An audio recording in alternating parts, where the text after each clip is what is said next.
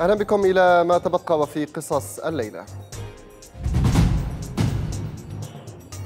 جماعات التسوية يتوافدون لمواجهة إدلب من درعا وريف دمشق. من أدار بندقية الفصائل إلى هذا الهدف؟ يكره ترامب وشعر بالخجل على دماء السوريين. واشنطن تنكس علامها حدادا على جون ماكين.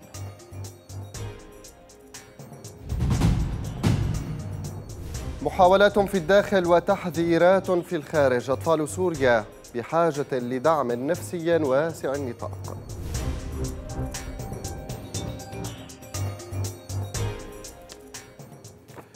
أهلا بكم من ريف دمشق ودرعا وحمص نقل النظام العشرات من فصائل التسوية إلى إدلب. لماذا؟ لمواجهة فصائلها وأهلها تحت مسمى محاربة الإرهاب وفق ما ذكرت مصادر ميدانية خاصة لتلفزيون سوريا. هذه الفصائل رفضوها سابقا وقبلوا بها اليوم فصائل بعينها في صف النظام لمواجهة الثورة في الشمال السوري. السؤال ما الذي تغير وقد قدمت إليهم عروض من هذا النوع في وقت سابق لمواجهة تنظيم الدولة فرفضوها؟ تقول مصادر خاصة لتلفزيون سوريا إن جماعات التسوية نقلت إلى تخوم إدلب من جهة حماة بمرافقة ميليشيات النمر النمر الذي يأتمر بما تمليه عليه قاعدة حميميم وليس بما يمليه عليه النظام. في حين يواصل النظام تعزيزاته من جهتين ثانيتين من ريف اللاذقية الشمالي إلى محيط مدينة جسر الشغور في محيط إدلب.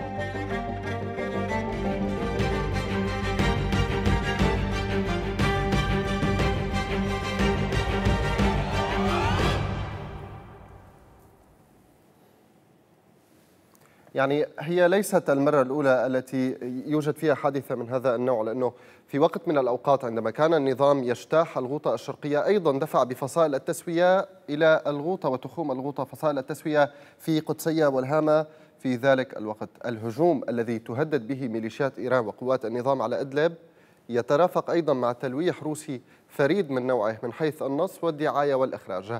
حيث تزعم موسكو بأن هجوما بالأسلحة الكيماوية قد يستهدف إدلب قريبا. يعني هو السيناريو ذاته الذي صاغته موسكو في خان شيخون ودوما سابقا عندما خلقت جوا من الشائعات قبيل استهداف النظام للمدينتين بالأسلحة الكيماوية تخلقه روسيا اليوم حول إدلب. وهذا ما يشير إلى بالفعل قرب هجوم كيماوي محتمل على محافظة إدلب. يعني هذه التصريحات إلى هذا تشير. تزعم روسيا أن هيئة تحرير الشام هي من سيقصف المدينة بسلاح كيماوي لاتهام النظام بالجريمة لأنه العالم يعني يعني لا يفهم طبيعة الأمر وفي كوكب آخر يسكن. فيرد مغرد على وسائل التواصل الاجتماعي ساخرا يرد على هذه الفرضية بالقول لا تحرير الشام ولا غيره يستطيعون تلويث السيرة العطرة لبشار الأسد. ما شاء الله.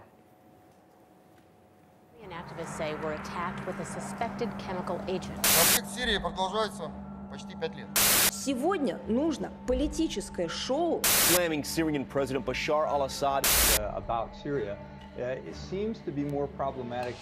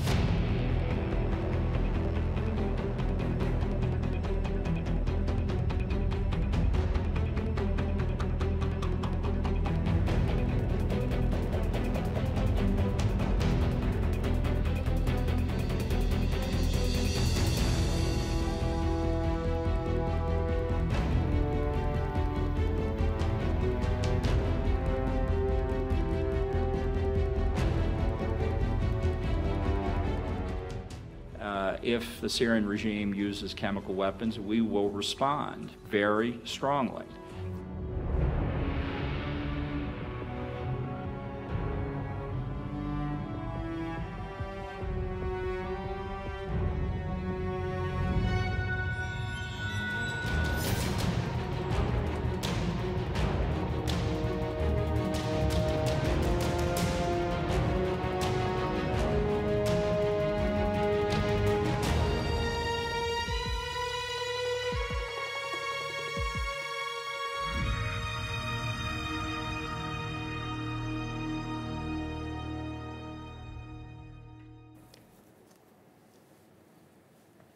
يعني للمفارقة الروس عندما تحدثوا بأن تحرير الشام تجهز لهجوم كيماوي على مناطق هي يعني آه، تحت سيطرتها بالأساس تحدثوا عن زمان وعن مكان وعن وعن تفاصيل يعني غريبة وكأنهم يقدمون خطة عمل لهذا الموضوع.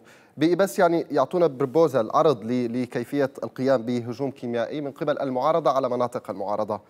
رغم الأحاديث أحاديث الكيماوي ومسالخ التعذيب وملايين المشردين فإن الرئيس الأمريكي الأسبق جيمي كارتر يفضل في سوريا سلاما مشوها على استمرار الحرب.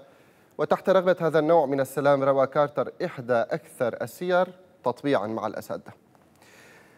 رواه في مقال نشره بصحيفة نيويورك تايمز الأمريكية بنى الرئيس الأسبق للولايات المتحدة الأمريكية جيمي كارتر بنى سيناريو إعادة العلاقات الدولية والدبلوماسية مع بشار الأسد وطالب جيمي كارتر جميع دول العالم بإعادة سفرائها لدمشق. والمساهمة في إعادة أعمار سوريا بذريعة تهيئة الأجواء لانتقال ديمقراطي بطيء على المدى الطويل. دعونا نتابع.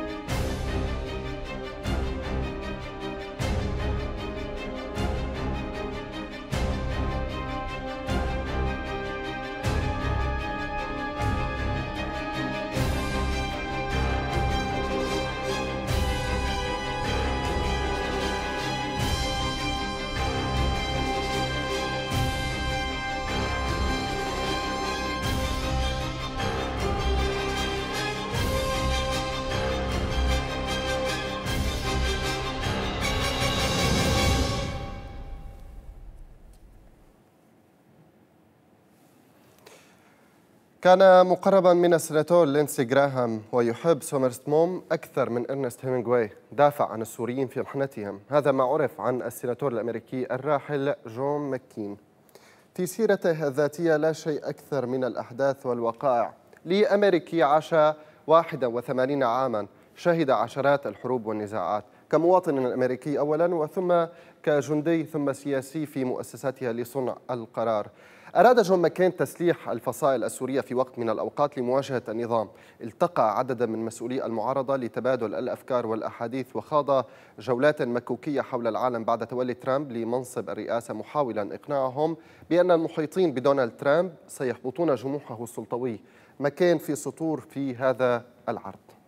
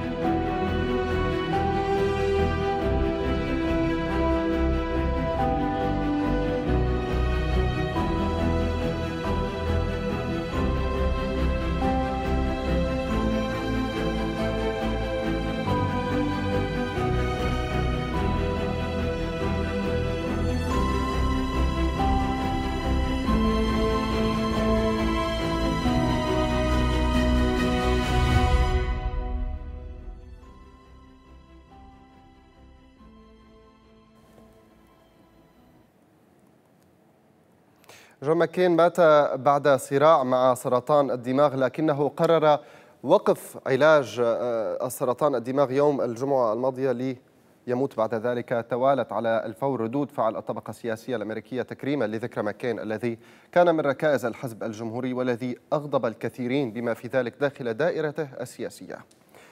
في هذا الصدد يدعو زعيم الأقلية الديمقراطية في مجلس الشيوخ تشاك شومر إلى إطلاق اسم جون ماكين على مبنى في الكونغرس حيث كان مكتبه بينما قدم أوباما عزاء وصف بالودي للرجل. أما رئيس دونالد ترامب الذي كان على خصام علني مع جون ماكين فاكتفى بتقديم تعازيه في تغريدة مقتضبة لم يذكر فيها بتاتا حياة ماكين أو مساره السياسي. يعني منيح ما شتمه لأنه متعود دونالد ترامب على الشتائم.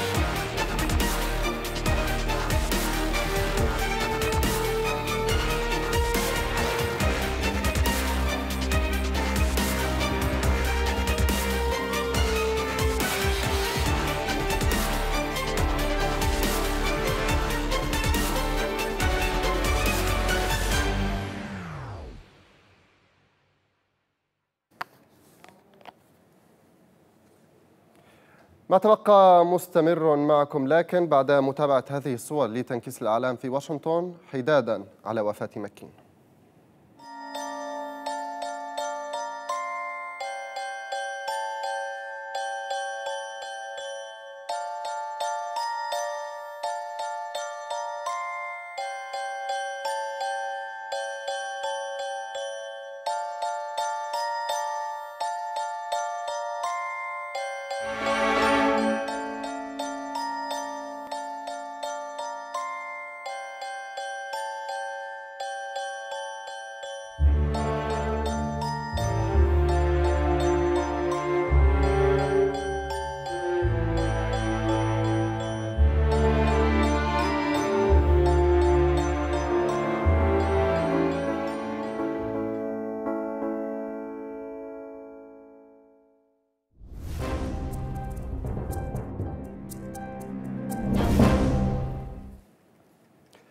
لعنة سيرخيوس مسرحية أقامها مجموعة من الشباب في مدينة سراق بريف إدلب تهدف إلى تقديم الدعم النفسي تحديدا للأطفال السوريين جراء ما عانوه ورأوه من قصف وتهديد مباشر على الحياة.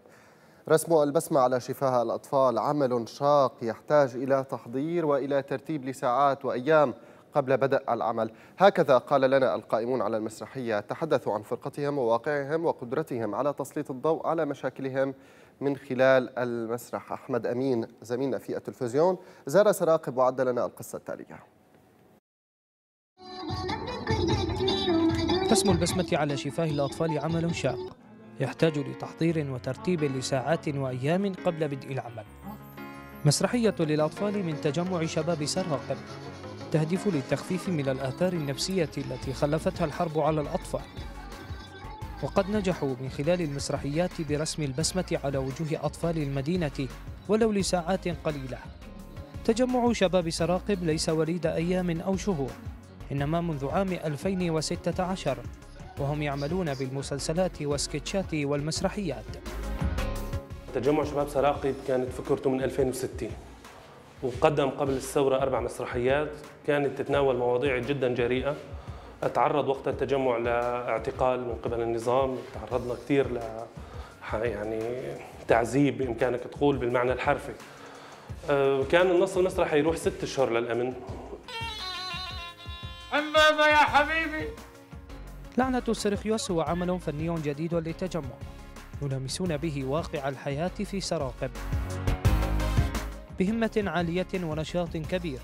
وأدوات بسيطة تم إنتاج أولى حلقات المسلسل الذي يتناول قضايا جريئة كزواج القاصرات الذي انتشر كثيرا في الآونة الأخيرة.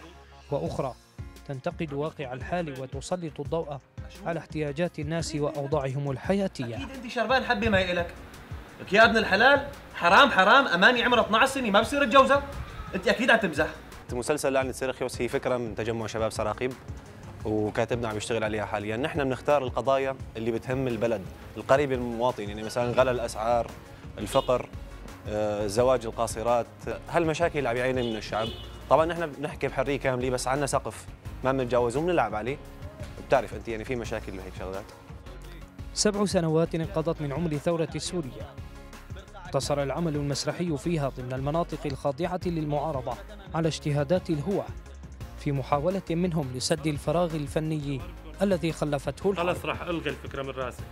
بإمكانات محدودة ومعدات بسيطة يقوم أحمد ورفاقه بتصوير عدة سكتشات تعكس واقع الحياة في المناطق التي تسيطر عليها فصائل المعارضة وتلقي الضوء على الآثار السلبية التي خلفتها الحرب في ظل تردي الوضع الأمني والحياتي. أحمد أمين تلفزيون سوريا من مدينة سراقب في ريف إدلب لم يعد الحديث عنه طارئا بل صار عمره نصف عقد ويزيد إنه الحديث عن تنامي الأمراض النفسية بين الأطفال السوريين إثر الحرب التي خاضها بشار الأسد ضد السوريين.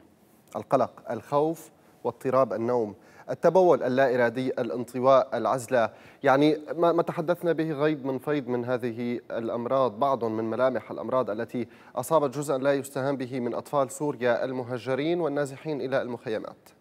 تقول في هذا السياق منظمة أنقذوا الأطفال الدولية إن نحو ثلاثة ملايين طفل سوري مصابون باضطرابات نفسية يحتاجون إلى سنوات طويلة من العلاج والتشافي من صدمات القصف والدمار. هذه الصدمات يعني كان لها الأثر الكبير على الكبار في السن فما بالك على الصغار؟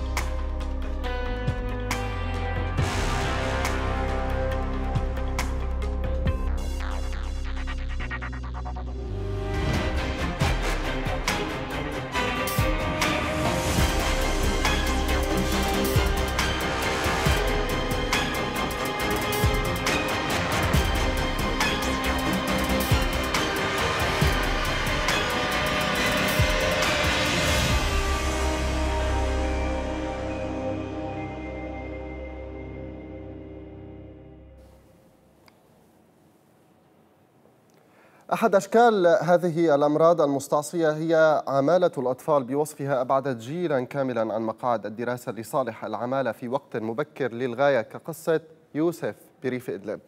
يوسف الذي يبلغ من العمر سبع سنوات يعمل في مجال صيانة السيارات لدوافع إعانة عائلته باعتباره المعيلة الوحيد. هذا الطفل للأسف سيء الحظ.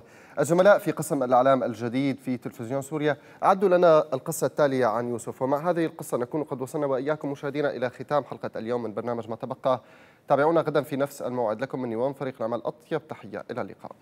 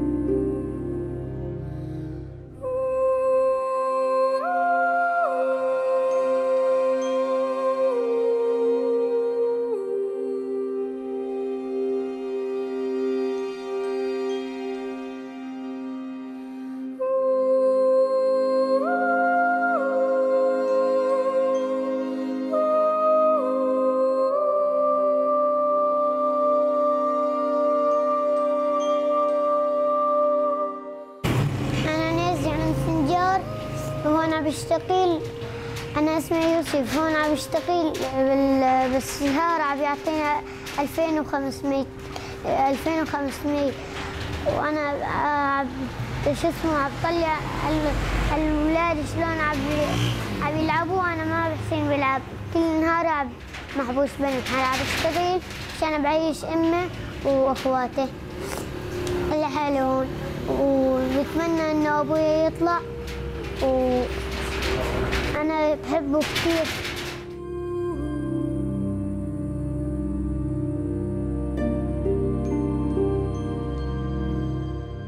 السوفة كان من يطلع الصبح يقعد يصير يقول لي يا ماما ليش كل الأطفال عندهم أب؟ أنا يعني ليش خلقت على الدنيا ما عندي أب؟ أقول له يا يوسف أبوك بالسجن. يروح يشتغل آخر النهار يجوا الشباب ينفخون دواليب عنده أو شيء يشوفون وضعه وينطونه 25 أو 50 يجي يوسف على البيت يحطها بالمطمورة يقول له يا رب يعني طفلك صغيرون يطلب منك طلب صغير إنك تطلع لي أبوي يا رب.